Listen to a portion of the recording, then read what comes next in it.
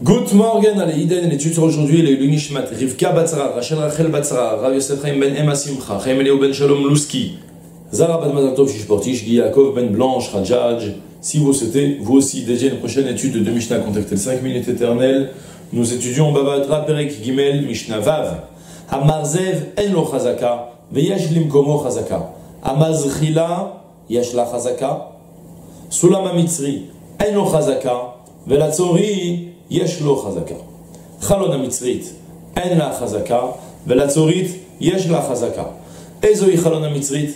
כל שן ראשו של אדם יכול להיכנס לתוכה. רבי יהודה אומר, אם יש לה מלבן, אף על פי שן ראשו של אדם יכול להיכנס לתוכה, הרי זו חזקה.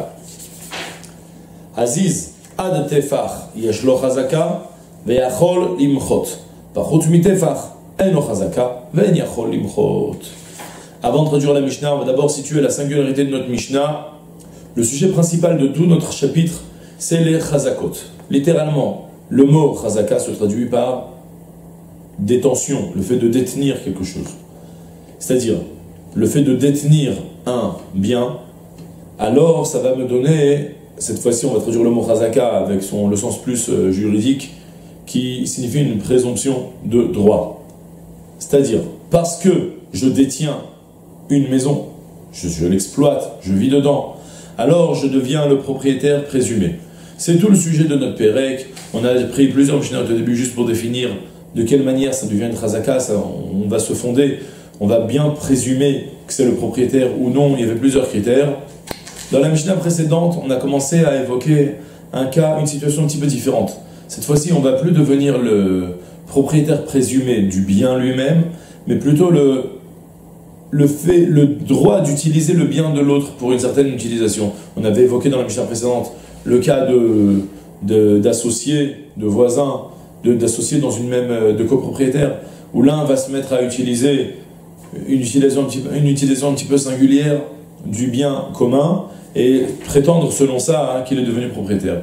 Dans notre Mishnah maintenant, on va, la Mishnah précédente s'appelait les Cheskat Tashmishin, le fait qu'on va être présumé euh, utilisateur en droit, de droit de, cette, du bien en copropriété. Dans notre Mishnah, maintenant, on va parler de ce qu'on appelle les cheskat nezikin. C'est-à-dire, cette fois-ci, je ne vais plus partir utiliser chez le voisin et prétendre quoi que ce soit. Je vais utiliser chez moi. Mais je vais utiliser chez moi des utilisations qui dérangent à l'autre. Et malgré tout, je vais prétendre que je l'ai fait de droit, que l'autre m'a donné le droit. On va ensuite apporter une précision très, très importante pour préciser de quelle manière ça se fait. Mais en tout cas, le premier cas, par exemple, ça va être, on va, on va parler de gouttière, on va parler le fait d'utiliser le bien de l'autre pour avoir là-bas une échelle, pour avoir une fenêtre ouverte chez l'autre. C'est toutes sortes de choses que l'on fait, à part l'échelle, c'est un petit peu différent, mais en tout cas, tous, le principe sera le même. Je fais dans mon bien, dans ma propriété, quelque, quelque chose qui dérange à l'autre. Par exemple, le cas d'avoir une gouttière. J'ai installé une gouttière qui s'écoule chez l'autre. La gouttière, elle est chez moi, elle n'est pas chez lui mais c'est lui qui en souffre. Alors là maintenant, la Mishnah va nous enseigner maintenant, est-ce que si j'ai une gouttière, par exemple, donc on est tous les deux voisins, mitoyens, et moi j'écoule constamment l'eau de mon toit, je la récupère et je l'éjecte, je l'envoie chez le voisin. Est-ce que le voisin peut prétendre au bout d'une certaine durée, même au bout de 3 ans, 4 ans, dire bah j'en ai marre, maintenant tu fermes ta gouttière, ça me fout de la, de la, bouche et moi j'en ai assez. Et il m'impose maintenant à venir construire toute une gouttière qui va prendre l'eau, qui va l'amener de l'autre côté. Ou bien moi je peux avoir dire non, je suis propriétaire. Je, le fais de droit. Pourquoi Tu m'as rien dit. Soit en trois ans, soit immédiatement. On va apporter un détail important plus tard. D'abord, pour le moment, juste on assimile l'idée, d'accord? C'est le principe de notre Mishnah de définir, de manière générale, on peut déjà poser le principe. Lorsque j'utilise chez moi une utilisation que lui avait le droit de m'en empêcher de le faire, quelque chose qui le dérange, et malgré tout il s'est tu, alors je pourrais prétendre utiliser, faire cette utilisation de chez moi en droit parce que lui, il m'a cédé, soit parce que je l'ai payé, soit parce qu'il m'a tout simplement pardonné, ou soit même plus que ça, tacitement, comme on va le dire dans quelques minutes. Le principe est clair. On va d'abord. J'ai un problème maintenant avec la Mishnah, c'est que la Mishnah, elle a, elle a, choisi le, premier cas, hein, un cas qui est un petit peu plus fin et délicat. Donc je vais d'abord vous introduire la notion générale qui va, qui va se dégager de la, première partie de la Mishnah, le marzev. Marzev ou mazrila, c'est une gouttière. Donc, comme on a dit, ça écoule l'eau. On va voir là maintenant un cas, deux, cas de, deux cas de gouttière. Une gouttière fixe, grosse, importante. Et alors là, dans ce cas-là, il y a une réelle chazaka. Et un autre marzev, une petite gouttière qui va plutôt être une sorte de tuyau d'évacuation, c'est-à-dire j'ai un trou, j'ai toute l'eau de mon toit qui se réunit dans un endroit, et là-bas j'ai un petit trou avec un tuyau. Et alors là, la Mishnah va nous dire, sache que tu as, tu peux affirmer avoir le droit de déverser l'eau chez le voisin, mais pas spécifiquement dans ce trou. Il va le, voisin, s'il veut construire en dessous par exemple, il aura le droit de me dire, écoute, c'est vrai que tu fais écouler ton eau de droit en droit, de droit chez moi, mais malgré tout, je ne veux pas que ce soit de ce côté-là euh, au sud, je préfère que ce soit du, sur la, face nord là-bas, parce que ici j'ai envie de construire exactement. Et dans ce cas-là, je serai contraint à le faire. C'est ce que la Mishnah nous dit, on n'a qu'à le faire dans les mots et après on précise un peu plus. À Marzev, faites attention, il y a Marzev et Mazrila. J'ai pas regardé dans le dictionnaire, mais je suppose que Marzev, ils vont le traduire gouttière. Et le problème, c'est que Mazrila aussi, ils vont, ils vont vous le traduire aussi gouttière. Donc en fait, le plus simple, c'est de dire que Marzev, c'est une petite gouttière, et Mazrila, c'est une grande gouttière. C'est quoi une petite gouttière? En réalité, c'est un tuyau qu'on peut orienter facilement. Comme ça, c'est un... ça se dégage de, la Gemara, du Barthénora et tout ça. À Marzev, donc ce tuyau d'évacuation, Enlo Chazaka. On n'a pas de Chazaka. On ne sera pas présumé propriétaire d'avoir ce tuyau, mais attention, Veyashlim Komo Chazaka. Mais il y a sur son lieu une Chazaka, une présomption de droit. C'est flou au possible, j'ai pas de doute. On continue la phrase d'après, et après je vous explique la première. Amazrila, par contre la grosse gouttière, yesh la chazaka. Ça, c'est clair. Une mazrila, donc c'est la grosse gouttière, comme on la connaissait si bien, quoi, euh, d'accord Elle continue le toit, elle réunit toute l'eau, elle, elle, elle, elle, écoule dans un coin là-bas, et ça coule à grand flot. Et de manière fixe tout est fixe, le trou il est fixe, le trou de la, gouttière par, par lequel l'eau s'évacue, tout est fixe et important. De ce fait, je pourrais prétendre, c'est-à-dire, lorsque j'affirme avoir le droit de faire écouler mon eau chez moi, c'est cette gouttière et pas une autre. Si lui, pour une quelconque raison, il a envie de me dire, tu sais quoi, regarde, je te laisse la gouttière, mais mets, l'évacuation de l'autre côté, je pourrais lui dire, non, si moi j'ai un quelconque intérêt, on ne parle pas de gens qui sont stam casse-pieds, mais si j'ai un quelconque intérêt que ce soit de ce côté et pas de l'autre, je pourrais lui dire écoute, moi j'ai de ce côté, débrouille-toi, va construire toi de l'autre côté. Parce que moi, de droit, je fais écouler mon eau ici. C'est ce que la Mishnah nous dit à Mazrila Yesh la Chazaka. La Mazrila, cette gouttière, telle qu'elle, j'ai une Chazaka. Par contre, le Marzev, c'est le petit tuyau d'évacuation. Alors là, là-bas, il y a une nuance. C'est que la Mishnah nous dit Yeshlim Komo Chazaka val en Chazaka. Ça veut dire, lorsque j'ai ce petit tuyau d'évacuation, j'ai un droit certain, c'est le droit d'évacuer l'eau de mon toit ici chez le voisin. Mais malgré tout, pas forcément par ce petit tuyau. Lui pourra m'imposer de me dire, tu sais quoi, t'as le droit, je conteste pas. Maintenant c'est trop tard, t'as le droit. Mais malgré tout, tu mets le tuyau de l'autre côté, tu fais sortir par exemple, tu bouges ce trou, tu mets le trou de l'autre côté, tu, tu fais évacuer de l'autre côté. Ce que la Mishnah nous a dit. En chazaka komo chazaka. Sur ce marzev, il n'y a pas de chazaka, mais malgré tout, sur, son, sur le lieu, le fait que de ma maison s'écoule l'eau, là il y a quand même une chazaka. C'est clair une précision maintenant importante.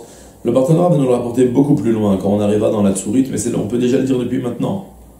Jusqu'à maintenant, on parlait de chazakot avec ta'ana, c'est-à-dire avec justification. J'affirme que j'ai ce droit parce que tu me l'as donné et j'ai plus de preuves à l'appui parce que tu t'es tué et j'ai jeté ma preuve. Ça, c'était le schéma des chazakot jusqu'à maintenant. Il y avait un cas particulier dans la Mishnah précédente, je préfère ne pas l'évoquer parce qu'il est un peu délicat. Mais maintenant, dans notre Mishnah, là, ça va être rapporté dans le partenariat, c'est comme ça que c'est rapporté dans le Shulchan Aruch, Mishpat, Siman Kuf Nun Gimel, c'est Yves Bet, si je ne me trompe pas, je l'ai vu tout à l'heure. Euh, là-bas, hein, ça sort ici quelque chose de très nouveau. C'est des chazakot où je n'ai pas besoin de ta'ana, je n'ai pas besoin de justifier. Comme je ne vais pas, moi, exploiter chez le voisin, mais uniquement j'exploite chez moi, je fais quelque chose qui était interdit en théorie, mais que l'autre s'est tu, par le simple fait qu'il a vu et qu'il s'est tu, il a, il m'a cédé le droit de l'utiliser. Tacitement. Même si je ne prétends rien aujourd'hui. Je prétends uniquement que tu as vu, tu t'es tu, ça s'appelle que tu m'as donné le droit. À la différence donc du cas où tu viens exploiter chez moi, le fait que je te vois exploiter chez moi et que je me tais, ça ne te donne pas un droit de devenir propriétaire jusqu'à que tu prétendes que je t'ai donné ce droit. D'accord? Peu importe, parce que tu prétends être propriétaire sur la maison, ou tu prétends avoir un droit sur la maison d'exploiter de cette manière. Mais en tout cas, là, on est dans les cheskat nezikin, La singularité, elle est que tu fais chez toi, tu fais pas du tout chez moi. Moi, j'ai uniquement les, les conséquences néfastes de ton utilisation de chez toi. J'ai le bruit, j'ai le fait que ça tremble, j'ai le fait que ça s'écoule, j'ai le fait que tu vois chez moi comme tous les différents qu'on va évoquer dans la Mishnah. Et alors de ce, de ce fait, ça s'est rapporté, c'est en réalité une très grande marque dans les Rishonim. Je dis le Shulchan mais le Rama il rapporte la vie qui, discute. C'est une très grande discussion à l'intérieur des Rishonim. Les Chachmé Sfarad en général, le Rambam, puis ensuite le Ramban, ils tiennent ça depuis l'époque des Géonim, depuis le Rif, si je ne me pas, le Rimigash, le Rif, où là-bas ils ont une massorette claire qu'ils avaient le droit d'utiliser simplement en fermant les yeux, en se taisant, comme ça on devient Chazaka. Contre eux, il y a tous les Chachmé Tzafat, les Baletosfot, où là-bas ils disent forcément qu'il faut toujours expliquer, justifier, nécessairement. C'est une grande discussion, en tout cas, pour les Nezikim, pour les dommages en tout cas, ça va trancher dans le Shulchan que même tacitement, on devient propriétaire. D'accord? Donc on récapitule maintenant. Simplement, j'écoule mon eau. Je suis votre voisin. J'écoule mon eau chez vous. Si c'est un petit tuyau qui fait, qui fait écouler l'eau, par le fait que vous l'avez vu et vous vous êtes tu, maintenant ça m'a octroyé le droit de continuer à faire écouler mon eau, mais malgré tout, vous avez le droit de me demander de déplacer le tuyau de l'autre côté. Par contre, si c'est une vraie gouttière qui est fixe, alors dans ce cas-là, on accepte la gouttière telle qu'elle. Vous avez accepté tacitement de me laisser écouler l'eau de ce côté-là spécifiquement. Si ça me dérange de déplacer la gouttière de l'autre côté maintenant, j'ai un intérêt, mon toit il est orienté de cette façon, j'ai une quelconque raison pourquoi je veux que ça s'écoule de cette manière, vous ne pourrez plus me forcer à déplacer ma gouttière. Et on continue maintenant la Mishnah, tout va aller très vite maintenant. Sulama mitzri en lo velatsori yesh lo on parle d'une échelle par laquelle on peut monter donc euh, d'un côté à l'autre. Et cette fois-ci, ça peut être pour, euh, pour dégager une gouttière, ça peut être pour plein de raisons pourquoi on on a le droit d'avoir une échelle chez l'autre. Mais en tout cas, on a deux formes d'échelle. Il y a une échelle qui fait trois, euh, trois barreaux, j'ai plus le mot, trois, trois échelles, quoi, trois, trois niveaux. Et il y a des échelles à quatre niveaux qui est beaucoup plus fixe c'est comme ça, c'est rapporté, c'est un peu discutable. En tout cas, le principe, il est, c'est le même. Lorsque c'est une petite échelle, alors il n'y a aucune chazaka. Parce que l'autre, il va dire Ah, j'ai accepté, accepté que tu utilises ton échelle momentanément. Elle n'était pas tellement dérangeante. Tandis que si l'échelle est imposante, alors, de nouveau, l'échelle est imposante, vous avez vu, vous vous êtes tu, ça m'a octroyé le droit de l'utiliser. De, de devenir maintenant propriétaire de cette utilisation. D'accord, c'est clair? On continue. Je vois que ma caméra commence à troubler trop fréquemment. On va s'en occuper, enfin, ne vous inquiétez pas. Chalon amitzrit en la chazaka. Euh, donc on a fait deux cas de figure. Donc sous la mitzri d'abord, on était dans l'échelle mitzri, je ne sais pas pourquoi elle s'appelle comme ça, une échelle égyptienne, ou une échelle tsori, c'est de tsur. Donc l'échelle égyptienne, c'est celle qui fait juste trois niveaux. Il n'y a pas de chazaka du tout. Momentanément, je t'ai permis. C'était pas assez conséquent pour que je à, me mette à rugir. De ce fait, tu n'as aucun droit à maintenir ton échelle, tandis que Tsori, qui est beaucoup plus importante, qui est beaucoup plus fixe, qui a la BA4 chez les votes, plusieurs, euh, ça a été exprimé de plusieurs manières, donc Yeshua Hazaka, il a une présomption de droit, il pourra affirmer être le propriétaire, détenir le droit de continuer à maintenir cette échelle. Chalon, maintenant on, va parler d'une petite fenêtre, ou plus grande fenêtre. Chalon Amitzrit, de nouveau c'est une petite fenêtre égyptienne, je ne sais pas pourquoi. En la Chazaka, on n'a pas de Chazaka. Concrètement, je vous le dis tout de suite, on parle d'une petite fenêtre qui a une hauteur de plus que 4 amot, donc 2 mètres, qui ne sert pas particulièrement à faire entrer de la lumière dans la maison, et je crois que j'ai et qui est petite, donc petite, haute et pas à la lumière, à exclure la tsorit, Yashla Chazaka. La tsorit, c'est une fenêtre plus conséquente, qui est plus grande, mais en réalité, la Gemara inclut, ça va être rapporté tout ça dans le Barthénora, trois cas de figure. Soit la fenêtre, elle est beaucoup plus basse, elle est plus basse, ça signifie que j'ai besoin de l'utiliser constamment pour regarder ce qui se passe dehors. Si tu m'as vu ouvrir cette fenêtre et tu t'es tu, tu m'as donné le droit de maintenir cette fenêtre. Idem encore, si la fenêtre qui est haute maintenant, elle est petite, elle est haute, mais elle me fait rentrer de la lumière chez moi. Alors j'ai de nouveau une chazaka. Vous allez me dire qu'est-ce que ça inclut? C'est très simple. Si vous voulez maintenant construire un mur contre, vous allez me m'assombrir toute ma maison puisque maintenant j'ai ouvert cette ouverture là en haut, en hauteur, et j'ai de la lumière qui rentre chez moi, j'ai maintenant été Meshabed, j'ai euh, j'ai un droit maintenant sur votre euh, maison, si je puis dire, que votre maison ne peut plus m'empêcher d'avoir de la lumière qui va pénétrer par cette, par cette fenêtre. Vous pouvez plus construire, construire un mur à proximité de cette fenêtre. Idem encore, si la fenêtre elle est plus grande. C'est quoi une fenêtre plus grande? C'est une fenêtre où je peux faire passer la tête. Euh, un homme classique qui peut faire entrer passer la tête dedans. Si c'est une fenêtre grande, dans ce cas-là, en fait, ça veut dire de là, apprenez bien. Ouais. On parle de la situation a posteriori. A priori, si vous voyez votre voisin vous, vous ouvrir une fenêtre, tout de suite, rugissez, ne vous taisez pas, parce que si vous vous taisez, vous vous faites avoir. Tout simplement. C'est la Mishnah qui nous enseigne. C'est euh, l'a priori de la Mishnah. La Mishnah nous enseigne qu'à posteriori, une fois que le voisin il a déjà ouvert et qu'on s'est tu, alors il a maintenant un droit où on ne peut plus l'empêcher, on ne peut plus le forcer à fermer cette fenêtre. D'accord?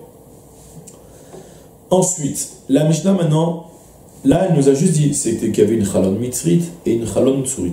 Une fenêtre égyptienne et une fenêtre de tsor. D'accord? Maintenant la Mishnah va nous préciser, c'est quoi? Eizoi chalon mitzrit. C'est quoi une fenêtre égyptienne Toute fenêtre qui ne peut, on ne peut pas faire passer la tête d'un homme. Rabbi Yuda Omer, comme ce qu'on a interprété, on a juste rapporté d'autres détails supplémentaires, d'autres conditions. Elle doit être petite, elle doit être haute, et elle doit ne pas faire entrer de lumière. Ça rapporte ensuite dans la Rabbi Yuda Omer, Rabbi Yuda nous dit.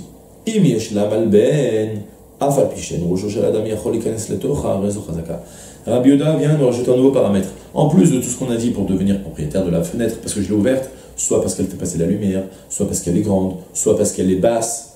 Rabbi Yoda pense que sache que tu peux aussi avoir parfois une fenêtre haute,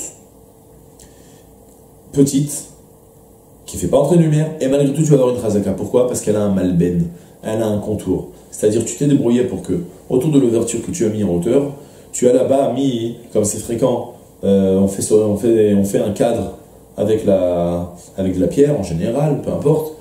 En tout cas, de nos jours, on fait avec la pierre, ça évite que l'eau qui, qui, coule, qu'elle rentre directement dans la maison. Ça protège mieux la fenêtre.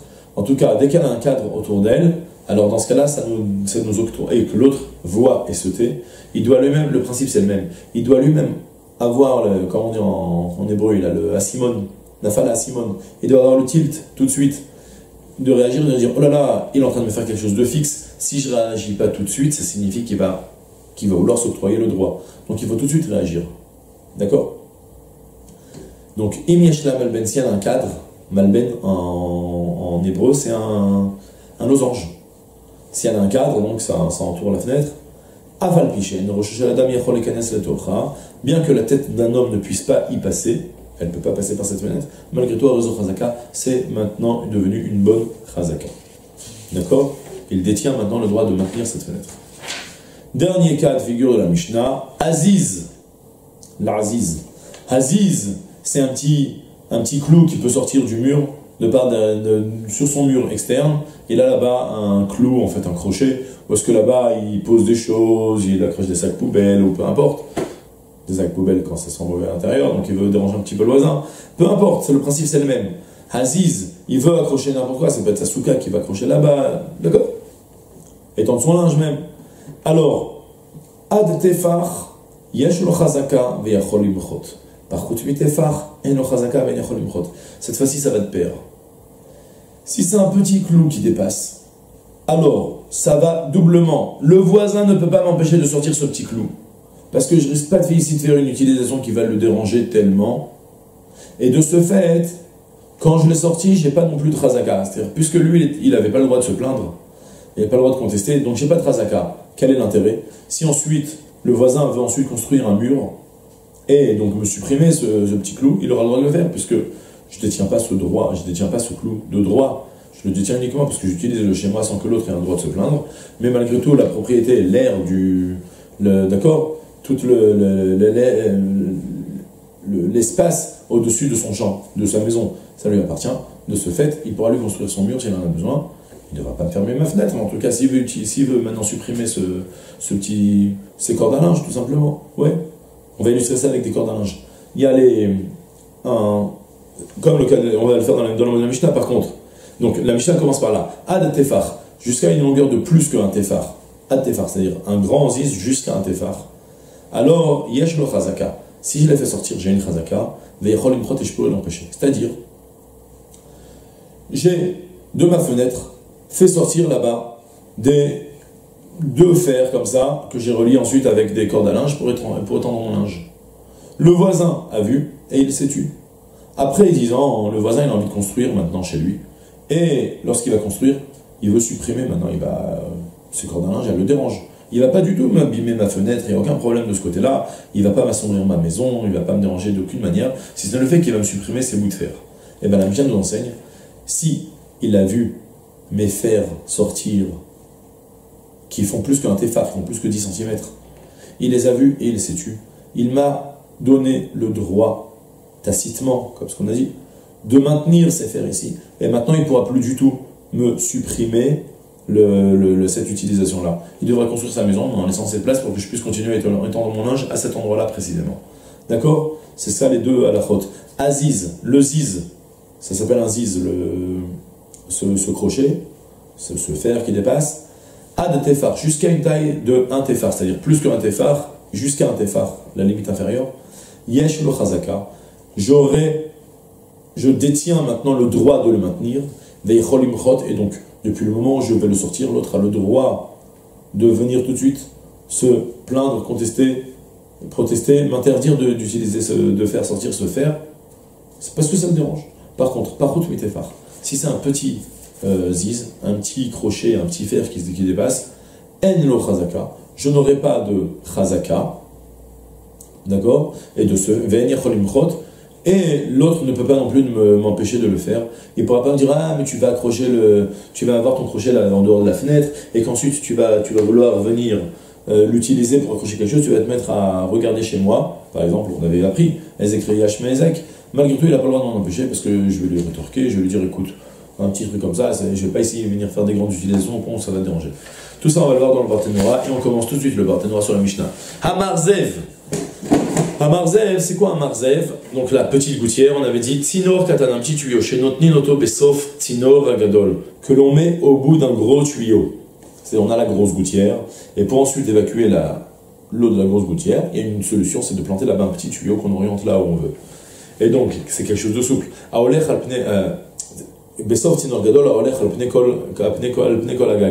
C'est le petit tuyau qu'on met sur la grosse gouttière qui, elle, va tout au long du toit. Donc. Ça signifie, que, ça signifie quoi? Qu'on n'a pas, on ne détient pas le marzev, on détient le lieu du marzev. Ça implique quoi s'il avait là-bas un petit tuyau, ou babal le et le propriétaire de la cour vient maintenant l'arracher complètement. Chez l'eau, parce que il, il, chez afin qu'il ne s'écoule plus les eaux du toit dans sa cour, il ne peut plus le faire. Pourquoi? Parce que l'autre, il a, il, a, il s'est déjà maintenant octroyé le droit de continuer à l'utiliser. Chez You,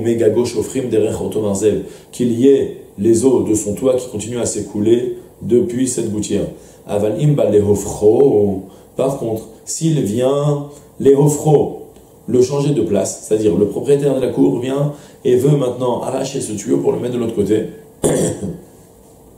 Shaya Munach les Dromi, par exemple, il était sur le côté sud, au bas, la tête auto, les Tzfoni, et maintenant il veut le mettre du côté nord. Pourquoi? Ah, Alors, d'accord Le propriétaire de la gouttière, ou du tuyau, ne peut pas l'en empêcher. Pourquoi? De car il ne lui rien fait perdre. Venelo chazaka, et il n'a pas non plus de chazaka sur de Omed Berwarzo. Il n'a pas, il ne détient pas le droit de toujours faire rouler de ce côté-là plus que l'autre. D'accord? Marzev, c'est quoi un marzev maintenant? Makom Shatipa, ah, il va nous donner l'étymologie du mot marzev. Marzev, ça veut dire marzav. Mar, c'est la goutte, zav, c'est cool.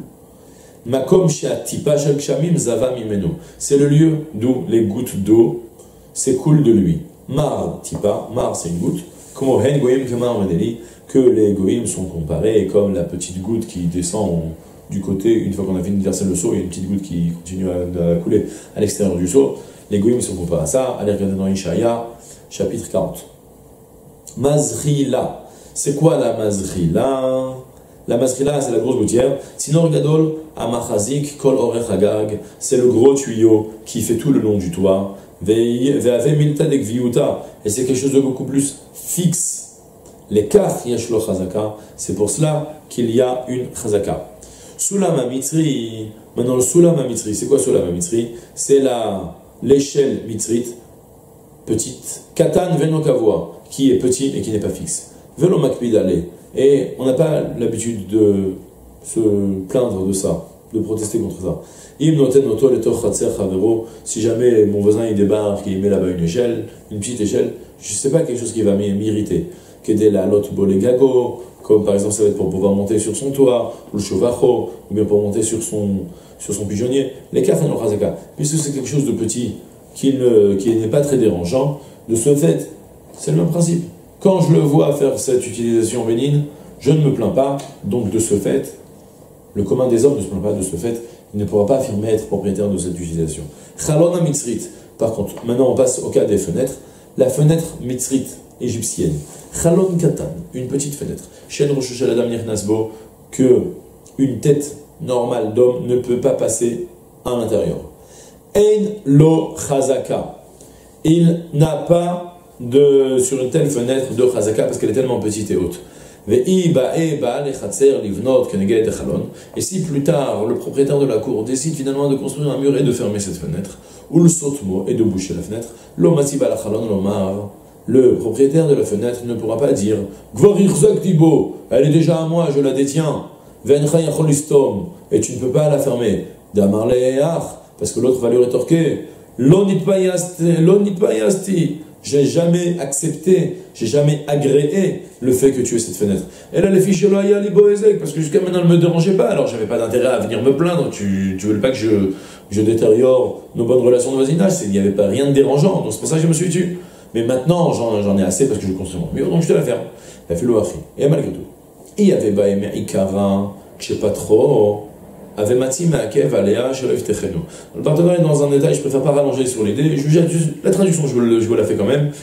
Malgré tout, le partenaire nous dit sache que malgré tout, même cette petite fenêtre, sache que si je voulais, j'avais le droit d'empêcher de la faire.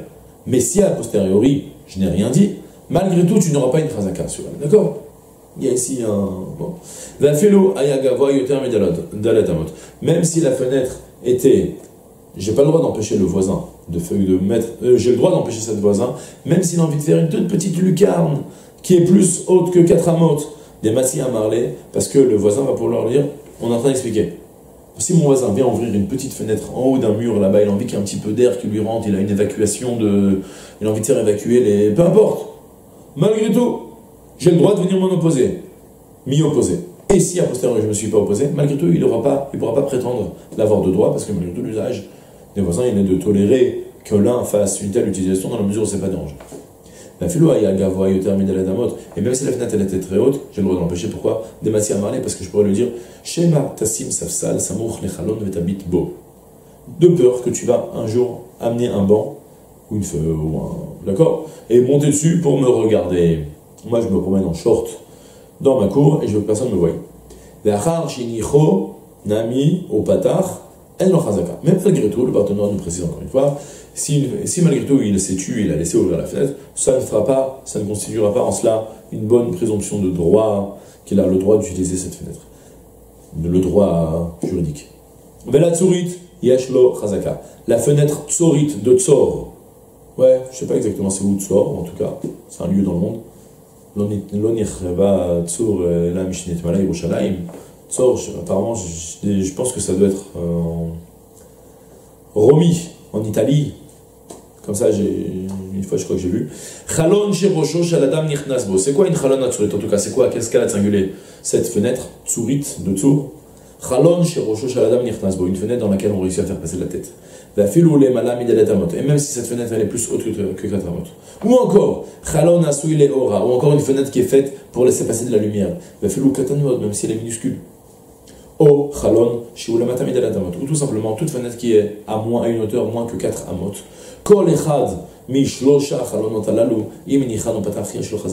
Que l'une des trois fenêtres, s'il a laissé, le voisin s'est tué, il a laissé ouvrir la fenêtre, l'autre aura une chazaka. Il aura le droit de l'utiliser de droit.